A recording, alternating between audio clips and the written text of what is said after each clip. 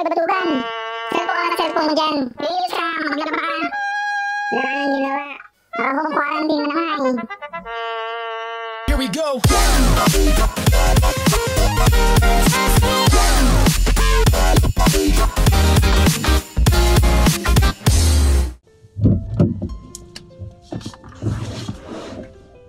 Yo, what's up YouTuber? Digital Bob Wallet and so great to have you back. So ngayon first time natin lalabas at first time natin na makikita ang uh, kalye ang kalsada since uh, first time din natin na maka-experience ng uh, enhanced community quarantine. Ah, init. So hot, so hot, init. Abot singit.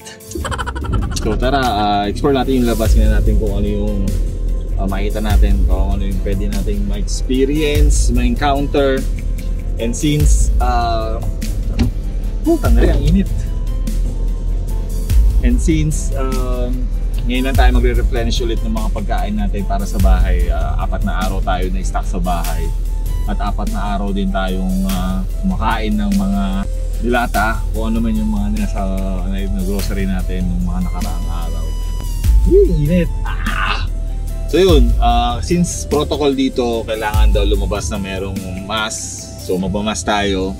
And since um, essentials yung bibili natin, uh, pupunta tayo unang-una sa bangko, mag-withdraw. Pangalawa sa supermarket, pag-grocery tayo ng mga kailangan din natin. And then pangatlo, well, market, palengke para sa pagkain natin. So yun, tara, let's go!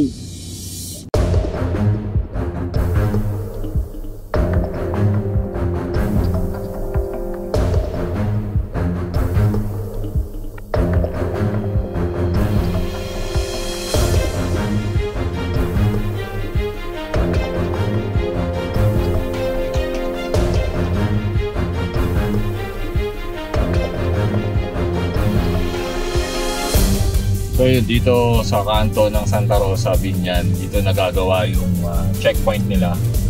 So, andito yung mga militar. And then, uh, kasamang mga barangay officials. So, good. Yun yung pinaka ano nila. Ayan, ayan. Good job.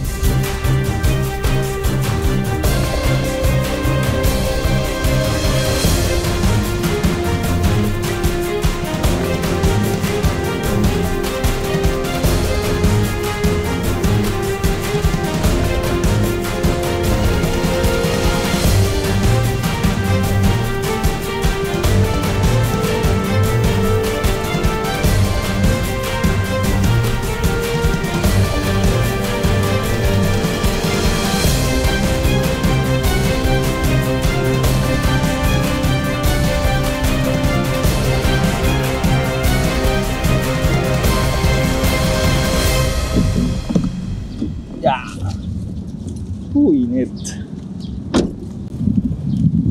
Walang bakit itong mga basket. Hindi pa dalhin doon.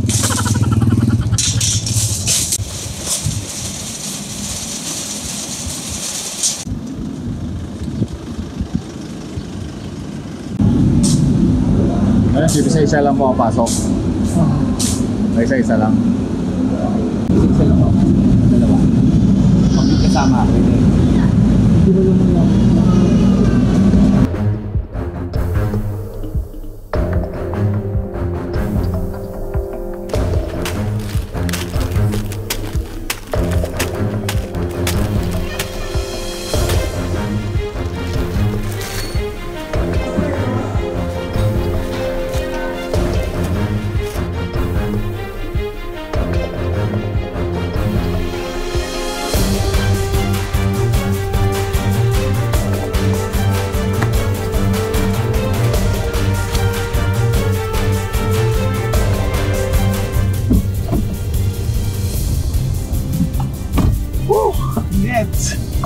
Woo! Init! Alcohol, alcohol, alcohol, alcohol, alcohol, alcohol.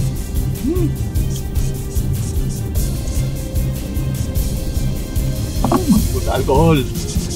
Woo! Init!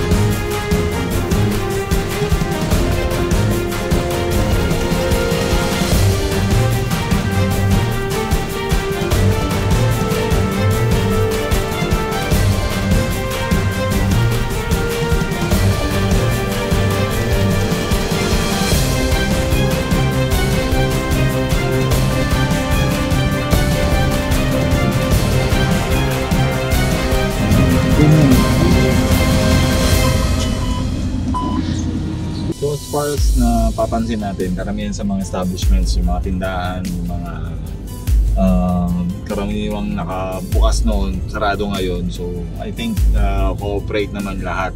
Lahat ng establishments, yung mga stores, mga tindahan, pati yung mall, uh, dalawang mall na pinuntahan natin, Robinson sa yung SM, sarado naman. So, good, good job. Thank you, sir. Thank you. Okay, so ngayon sobrang init ngayon sa labas. Uh, tanghali, hapon, umaga. Sana mamatay na yung virus, yung virus na to. At uh, di na kumalat ng todo-todo dito sa Pilipinas. At ma-enjoy na natin yung uh, sana mai-cooperate lahat, lahat. Especially doon sa mga tao pa rin na lumalabas.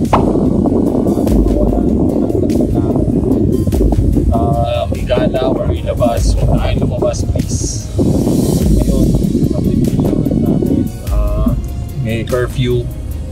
So, may curfew na uh, alas 7 ng gabi ng mga bata at alas 8 ng gabi sa mga matatanda. At dito, may, yan, may mga checkpoint, checkpoint din. Yeah. 35.9. Thank you. Ayan. Nakita nyo, sinicheck pa rin nila temperature ko. 35.9. So, wala. Wala yung magkasakit to. Immune to sa virus. Lagi tatanggal ng virus ko. The virus. Yun. So,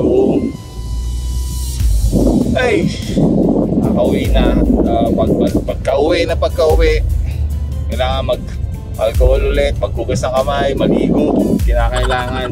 Actually, maliligo talaga ako. So, ayan, let's go! Marami tayong pwedeng magawa sa panahon na tulad ngayon, galito merong virus crisis ang bansa natin. Pwede natin gamitin yung mga oras at sandali na to para makakapaglaan ng maraming oras sa mga pamilya natin, sa mga minamahal natin, para makapag-bonding, we can make a lot of good and unforgettable memories.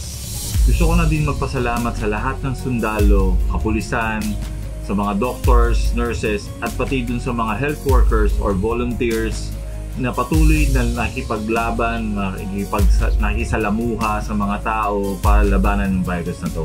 Isama na rin natin yung mga leader ng bawat pamahalaan na, na patuloy na gumagawa ng paraan para mag sa kaligtasan ng sambayan ng Pilipino. Maraming maraming salamat po sa araw-araw na patuloy na pagsuporta, pagtugon sa mga tulong medikal at pagsugpo dito sa virus na to.